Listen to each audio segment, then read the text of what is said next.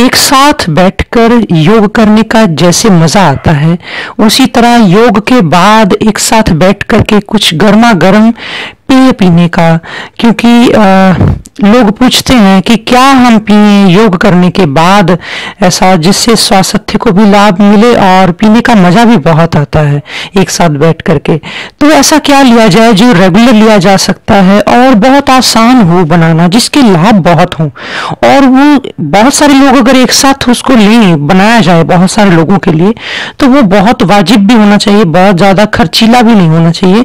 ऐसा नहीं है कि मैं इस खर्च के बारे में ही बात कर रहा हूँ कि खर्च कैसे बचाना। नहीं, मैं इस पहले स्वास्थ्य को मद्देनजर रखता हूँ, बाद में खर्च। लेकिन अगर वही स्वास्थ्य मुफ़्त में मिलता हो या बहुत सस्ते में मिलता हो तो भारी खर्च करना अलग अलग तरह के बाज़ार से पेय क्यों लाना?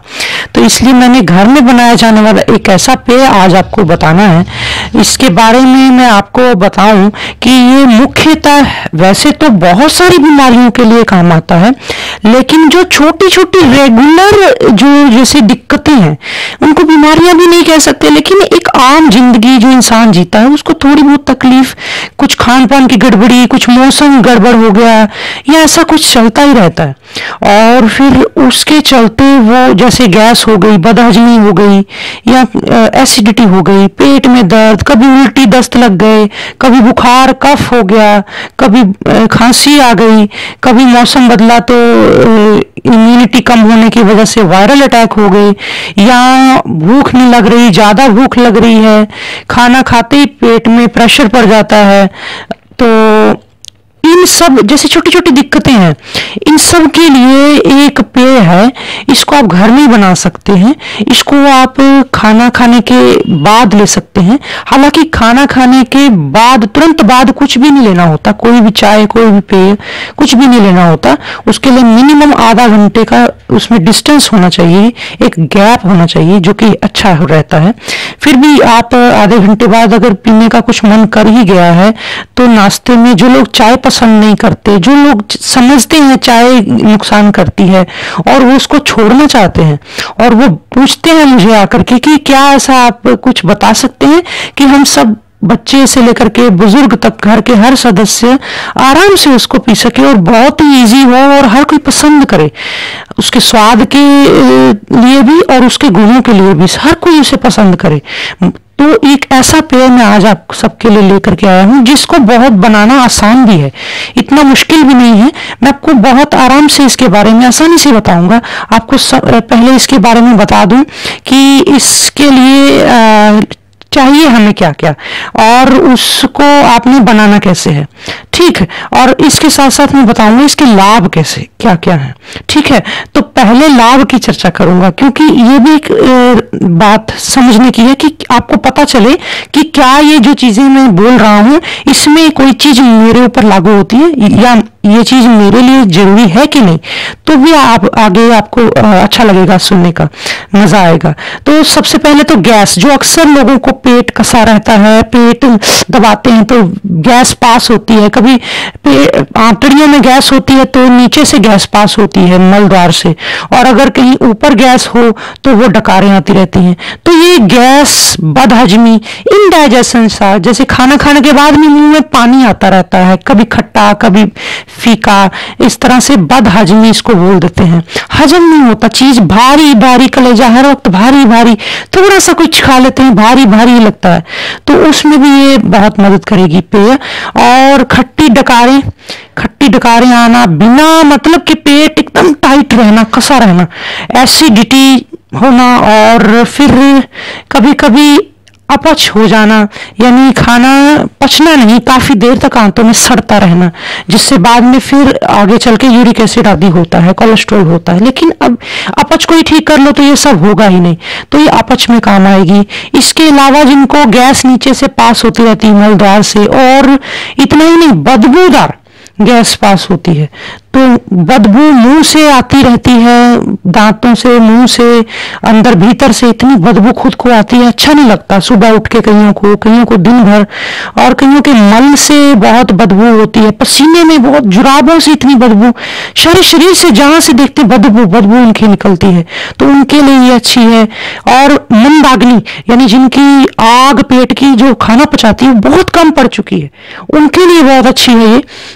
बुखार हो जाते हैं तरह तरह के मौसम बदलने की देर नहीं तो बुखार हो गया। कभी बुखार किसी तरह का, कभी किसी तरह का। कोई पित्त का बुखार हो गया, पित्त का बुखार होता है जिसमें बॉडी में लीवर में गर्मी पड़ जाती है और उससे बुखार हो गया। कई और वायरल अटैक हो जाते हैं।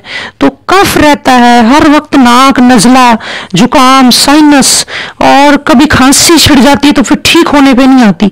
भूख नहीं लगती और अगर किसी किसी को तो भूख नहीं लगती, किसी किसी को लगी जाती है। तो दोनों कंडीशन में ये काम आएगी।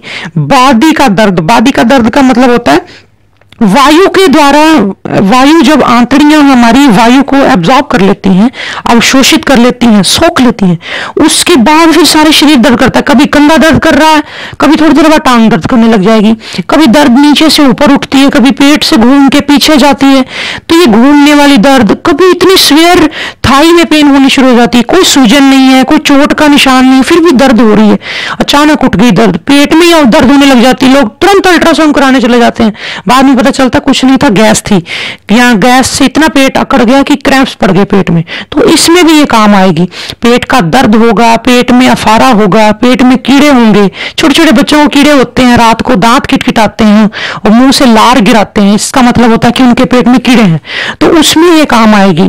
उल्टी में वॉमिट आने का मन हो रहा है। कुछ खा लिया ऐसा जिससे वॉमिट आने का लग रहा है। या कुछ कई बार यात्रा पे आप जा रहे जा रहे हैं तो आप साथ में ले जा सकते हैं। और तो और कभी आप वैसे किसी किसी को सुबह उठ के स्ट्रेस की वजह से वॉमिट आने का ऐसा लगता फील होता रहता कि मुझे उल्टी आ जाएगी। सोचते ज़्यादा हैं जो लोग। जो लोग बैठे रहते हैं खाना खा के, लेट जाते हैं तो उल्टी की शिकायत हो गई हैजा हो गया। और तो और इसके अलावा दस्त लग जाते हैं कभी कभी तो दस्त के दिन में कुछ खाना पीना तो होता नहीं तो इतना खास परहेज करना होता तो उसमें कुछ पीने का मन करता है। कई बार थोड़ा हाजमेदार जिससे थोड़ा ठहर जाए पेट, आराम मिल जाए पेट को, तब भी ये काम करती है। मुँह के अंदर जीभ में या कहीं अंदर, जीभ के नीचे आसपास, कहीं गाल के अंदर, कहीं छाले हो गए हैं मुँह पक गया है, उसमें भी ये हेल्प करेगा, बहुत मदद करेगा उसको भी आराम देने में। और फिर बड़ी हुई धड़कन, जैसे धड़कन बढ़ जाती कभी कभी बहुत ज़्यादा एकदम पसीने छूटने लग जाते हैं, क्योंकि हार्ट थोड़ा उसको भी ताकत चाहिए और थोड़ी गैस का प्रेशर ना उसके ऊपर आए। फिर बड़ी हुई तिल्ली तिल्ली स्प्लीन को बोलते हैं, जो हमारे अंदर रेड ब्लड सेल बनाती है तो उसको भी, बड़ी हुई तिल्ली को भी ठीक करता है। जिगर के लिए लीवर के लिए अच्छा है। पित्त का बुखार, यानी गर्मी का बुखार जो होता है, वो बड़ा अच्छे से इससे, हालाँकि जो दवाइयाँ आप इन सब चीज़ों की, इन बीमारियों की लेंगे, जो आप लेते रहे, लेकिन उन चीज़ों में अगर ये साथ में पेय जोड़ लेते हैं तो बड़ा आराम आ जाता है, कई बार दवाई की भी ज़रूरत नहीं पड़ती। ये मैं हेल्पिंग, आपकी हेल्प करने के लिए दे रहा हूँ, ये नहीं कि इसी के ऊपर आप डिपेंड रहें एक तरह से मदद हो जाएगी आपकी। अगर आप सही समझ से खाते पीते हैं, बहुत ज़्यादा आप उल्टी सीधी दवाओं का प्रयोग नहीं करते तो इसी से ठीक हो जाएगा। फिर इम्यूनिटी जिनकी लो है बात बात पे बीमारी लग जाती है छोटा सा किसी बीमार बंदे के पास बैठे, आप भी बीमार होकर घर आ गए तो उसमें भी ये काम आएगा। और रेजिस्टेंस पावर यानी रोग प्रतिरोधक क्षमता अपने ही अंदर रोगों से लड़ने की शक्ति। तो वो आएगी। आलस और थकान, बैठे हैं, सुबह नाश्ता करने की देर है, सोने लग जाते हैं, नींद, बेड पकड़ के बैठ जाते हैं, कुछ करने का मन ही नहीं करता। टीवी लगा लेते हैं, सारा दिन पिक्चर चलती रहती है, कोई ना कुछ चलता रहता है। आलस बिना मतलब का, उसमें स्फूर्ति नहीं रहती दिमाग में। तो स्फूर्ति लाएगा दिमाग में। और डायबिटीज़ वाले जो हैं चाहते हैं, वो भी हमें कोई ऐसा पेय दो। दिन में कभी हम दो, दोस्त, दो, चार लोग बैठ के, परिवार इकट्ठा बैठ के, हम उसका एंजॉय कर सके। हेल्थ भी मिले और टेस्ट भी मिले। तो उसके लिए और इजी भी हो। अच्छा तुरंत ऐसे बन जाए, ऐसा कुछ पेय बताओ। तो मैं आपको बिना ही देर किए बताऊँगा। इसके लिए आपको तीन चीज़ें लेनी है। एक है नींबू का छिलका। नींबू को निचोड़ लीजिए अच्छे से किसी कांच की कटोरी में, ताज़ा नींबू। बीज उसके फेंक दीजिए, वो रस अलग रख लीजिए उसका। कटोरी, कांच की कटोरी में ढक के और फिर उस छिलके को छोटा छोटा छोटा छोटा बारीक बारीक, लंबा लंबा काट ले। वो आधा छिलका आपने लेना है नींबू का और सात पत्ते तुलसी के लेने हैं। चाहे वो राम तुलसी, चाहे शाम तुलसी, यानी एक गाढ़े रंग की तुलसी होती है। थोड़ी उसको डार्क तुलसी आप देखें, बड़ी आम है, हर जगह लगी होती है। तो तुलसी के सात पत्ते। और कड़ी पत्ता। कड़ी पत्ता बहुत फ़ेमस है। मैं पहले भी अपनी एक वीडियो शक्ति ड्रिंक, उसमें इसका कैसे करा उसके लाभ सब बता चुका हूँ। खून साफ़ करता है डायबिटीज़ वालों के लिए अच्छा है, कड़ी पत्ता है बाल झड़ना, ये सब प्रॉब्लम में बड़ा अच्छा है। तो वैसे भी जो छिलका है नींबू का, उसमें विटामिन सी ज़्यादा होता है नींबू से, कई गुना ज़्यादा होता है। और जिन लोगों को नींबू बंद होता है, जैसे यूरिक एसिड हो गया या उसमें खटाइयाँ बंद हो गई जोड़ों के दर्द में तो उसमें नींबू के छिलके का ये टी चल जाता है। तो ये उनके लिए भी अच्छा हो गया। ये तीन चीज़ें जो है, आधा नींबू का छिलका, सात तुलसी के पत्ते, ग्यारह कोड़ी पत्ता के पत्ते, ये एक रेशो है, ये एक व्यक्ति के लिए है। और इससे ज़्यादा रखेंगे तो कड़वाहट आ जाएगी। इसलिए ध्यान रखिएगा तो इसको बनाना कैसे है? जैसे उबलता हुआ, खोलता हुआ पानी लिया, उसमें फिर वो नींबू के कटे हुए छोटे छोटे छिलके वो डाले, और एक व्यक्ति के लिए एक गिलास पानी, बहुत है, वो उबलते में डाला और थोड़ा धीमी आँच पे उबालते उबालते फिर तुलसी के पत्ते, कड़ी पत्ता, थोड़े मसल के, ताकि उसमें से जल्दी सार सत्व बाहर आ जाए तो वो डाल दिया उसमें। थोड़ा ढक दिया, बीच में एक आध बार हिलाने के लिए खोला, बहुत सिम पे उबालना ताकि धुआँ कम उड़े और आप जो भी असर हो उसके अंदर ही रहे और ज़्यादा ऊपर ना उड़े। और सिम पे थोड़ा पाँच सात मिनट, दस मिनट बॉयल किया, उबाला। उबालने के बाद आप उसे जब थोड़ा हल्का ठंडा हो जाए छान लिया निचोड़ के। उसके अगर आपको एसिडिटी में पीना है तो ऐसे ही पिए। जोड़ों के दर्द वालों को पीना है तो ऐसे ही पिए। लेकिन अगर आपको उसमें आ, जैसे कई लोगों को थोड़ा और स्वाद लेना है बाकी स्वस्थ लोगों को तो उसमें नींबू का जो रस पहले बाहर निचोड़ा था वो भी फटाफट उसमें पीने के वक्त आप एक एक चम्मच सब डाल लो। और मज़े से इसको पियो। इकट्ठी बनानी हो तो इकट्ठा उतने गुना आप मटेरियल ले लें उसमें। और इतनी लाभकारी है ये पेय आप नाश्ते के बाद लीजिए दोपहरी को लीजिए खाने से घंटा पहले लीजिए खाने के आध घंटे बाद लीजिए घंटे बाद लीजिए। लेकिन इसको सुबह सूर्य यानी आपको योग के बाद लेनी है सुबह तब ले लीजिए। सुबह से लेकर के शाम को सूरज ढलने तक कभी भी आप ले सकते हैं। सूरज ढलने के बाद नहीं लेते इसको क्योंकि तुलसी का जिसमें भी तुलसी होगी वो चीज़ सूर्य ढलने के बाद नहीं लेते। और जिसमें भी तुलसी होगी उसको दूध के साथ नहीं लेना। दूध और नींबू तो वैस, का वैसे ही वैर है। और तुलसी का भी और दूध जो है दूध का वैर है। जहाँ भी तुलसी होगी, वहाँ ना एक घंटा पहले दूध लेना है, ना एक घंटा बाद। ये ध्यान रखना है। और इसमें कई लोग पूछते हैं कि मीठा डालें, बिल्कुल, अगर आप चाहें तो। हल्का सा मीठा, वो भी अगर शहद हो तो बहुत ही अच्छा लाभदायक। और अगर शहद नहीं डालना, डायबिटीज़ है या और कोई ऐसे मीठा नहीं पसंद करते तो स्टीविया। स्टीविया के आजकल सैशे बाज़ार में मिल जाते हैं। वो डाल लीजिए मीठा करने के लिए। स्टीविया की पत्तियाँ बॉयल कर दें किसी के घर में अगर लगी हुई है तो वो भी डाल के बॉयल कर ले साथ में, मीठा हो जाएगा। हल्की चीनी का प्रयोग कर लें, अगर आप नहीं, चारों तरफ़ कुछ भी आपको मीठा और अच्छा लगता तो चीनी डाल दी, शक्कर डाल दी।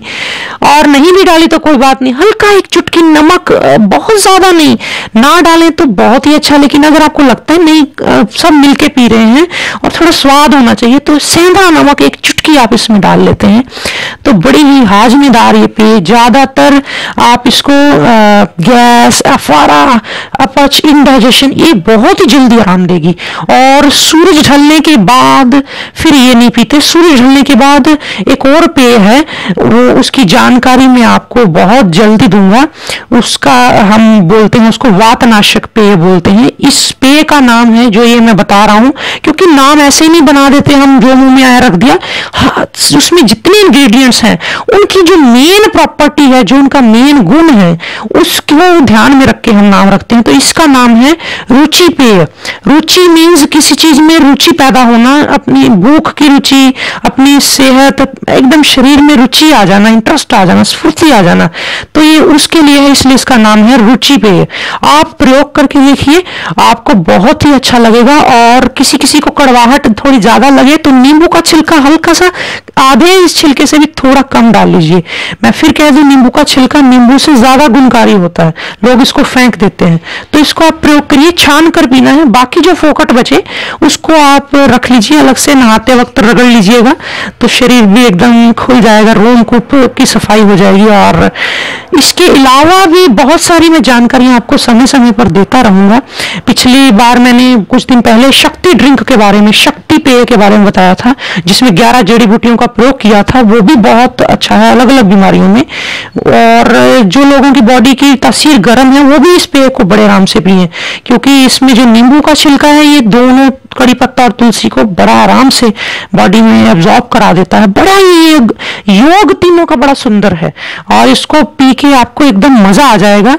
आप कभी भी इसको एंजॉय करिए। सर्दी में, गर्मी में और बच्चे करें छोटी मात्रा में, बड़े करें, एक कप की मात्रा में पीना होता है।